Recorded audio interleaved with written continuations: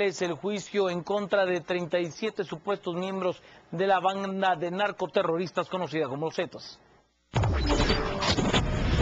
En el Tribunal Cuarto de Instancia Penal fueron enviados a juicio 37 supuestos zetas responsables de haber cometido diversos delitos, entre ellos el descuartizamiento del auxiliar fiscal Alan Stolowski en el departamento de Cobán, Altaverapaz, en el año 2011. Esto como venganza por haberles decomisado 500 kilos de droga. Esta banda está también sindicada de ser los supuestos responsables de actos delincuenciales como asesinatos, secuestros y atentados contra la población de esta localidad.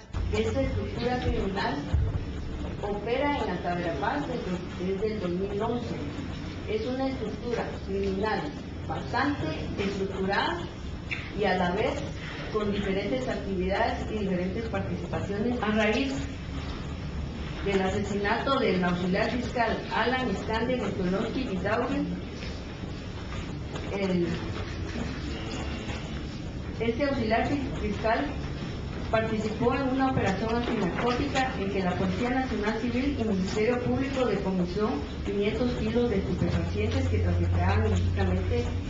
la organización criminal, le dieron eh, seguimiento, eh, iniciaron acciones de vigilancia de las actividades del señor Escolesi y es así como el día 23 de mayo del año 2011, aproximadamente entre las 16 horas con 15 minutos a las 16 horas con 30 minutos, ellos, los acusados, aprovechando la ocasión que el señor Alan Esoloso esperaba en su vehículo para recoger a su hijo, frente a las instalaciones de la Escuela de Fútbol ubicada en el Instituto Nacional de Juventud, INCUD, zona 4 del municipio de Cobán, del departamento de Alta Verapaz, por medio de amenazas y el uso de armas de fuego, por la fuerza lo sacaron de su vehículo.